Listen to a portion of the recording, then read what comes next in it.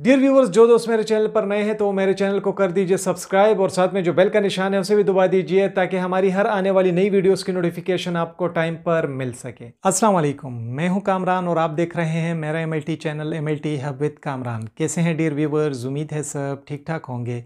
आज की वीडियो का जो टॉपिक है, वो है ऑस्टियोपोरोसिस इस बीमारी को खामोश बीमारी का नाम भी दिया जाता है, यानी साइलेंट डिज़ीज़ भी कहा जाता है।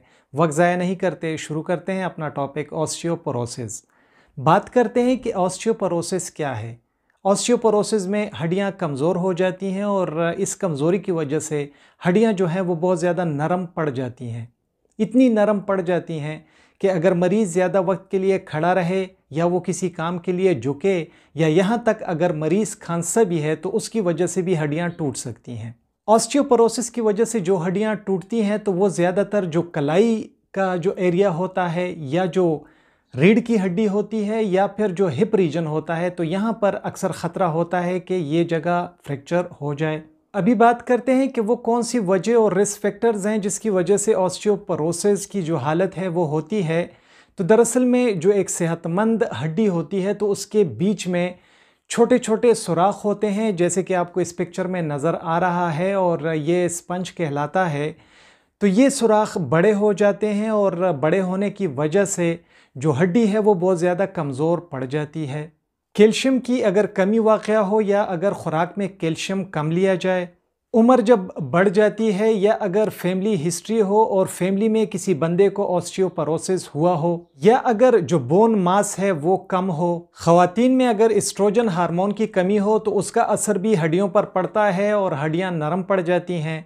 मर्दों में अगर टेस्टिस्टिरोन का लेवल कम हो तो उसका असर भी हड्डियों पर पड़ता है और हड्डियाँ नरम पड़ जाती हैं। थायराइड अगर बहुत ज़्यादा हार्मोन बनाए या अगर थायराइड के लिए जो हार्मोनल मेडिसिन दवाइयाँ ली जाती हैं, अगर उसका बहुत ज़्यादा इस्तेमाल किया जाए तो ऑस्टियोपरोसिस हो सकता है। वो ख़वातीन जिनमें मीनू पास हो, यानी ख़वातीन के उम्र में 40 से 50 साल तक का जो उम्र होता है तो ये एक ऐसी एज होती है कि यहाँ पर नेचुरली कुदरती तौर पर जो मेंसेस है, जो पीरियड्स हैं, वो स्टॉप हो जाते हैं, जिसकी वजह से ऑस्टियोपोरोसिस का ख़तरा बढ़ जाता है। और इसके अलावा जो डायबिटीज़ है तो ये भी ख़तरा बढ़ा देता है ऑस्टियोपोरोसिस के लिए। अभी बात करते हैं कि ऑस्टियोपोरोसिस की अलामत क्या होती हैं। मरीज़ का जो कद है, वो वक्त के साथ साथ कम होता रहता है इसके अलावा कमर का दर्द होता है, हड्डियाँ खुद ब खुद टूट जाती हैं। हड्डियाँ जो होती हैं वो काफ़ी सख्त हो जाती हैं और उनमें दर्द होता है। और जो मरीज़ है उसकी हालत सीधी नहीं रह पाती, वो काफ़ी झुक जाता है और उसके कंधे काफ़ी हद तक आगे की तरफ़ झुक जाते हैं। बात करते हैं कि ऑस्टियोपोरोसिस के लिए कौन से टेस्ट किए जाते हैं तो इसके लिए बोन डेंसिटी स्कैन किया जाता है, जिसमें मिनरल्स का पता लगाया जाता है। इसके अलावा एमआरआई की जाती है। सीटी स्कैन किया जाता है, एक्सरे किए जा सकते हैं मुख्तलिफ़ हड्डियों के और देखा जाता है कि कहीं फ्रैक्चर तो नहीं हुआ। थायराइड फ़ंक्शन टेस्ट किए जाते हैं, ब्लड में कैल्शियम का टेस्ट किया जाता है, यूरिन में 24 घंटे कैल्शियम का टेस्ट किया जाता है 25 हाइड्रोक्सी वाइटामिन डी का टेस्ट किया जाता है टेस्टिस्टिरोन का टेस्ट किया जाता है और इसके अलावा पैराथायराइड हार्मोन के लेवल्स का पता लगाया जाता है। अगर हम बात करें कि ऑस्टियोपोरोसिस का इलाज क्या है तो इसमें एक दवाइयों का ग्रुप है जिसे बिस्फॉस्फोनेट्स कहा जाता है। वो इस्तेमाल किए जाते हैं और उससे ऑस्टियोपोरोसिस का इलाज किया जाता है।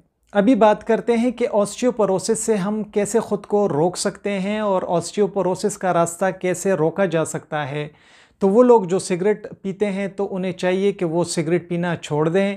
जो लोग कैफ़ीन का इस्तेमाल ज़्यादा करते हैं या अल्कोहल का इस्तेमाल करते हैं तो वो इन दोनों चीज़ों का इस्तेमाल कम कर दें। ऐसी खुराकों का इस्तेमाल करें जिसमें कैल्शियम की बहुत बड़ी मकदार पाई जाती हो।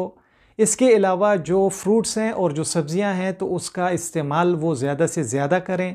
वाइटामिन डी का इस्तेमाल ज़्यादा से ज़्यादा करें और ऐसे एक्सरसाइजेस करें जिसमें वज़न उठाना हो।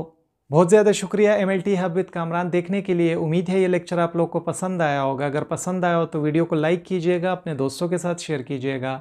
हमारे channel M L T hub with Kamran को सब्सक्राइब कीजिएगा। अपना ढेर सारा ख्याल रखिएगा। अल्लाह हाफिज़।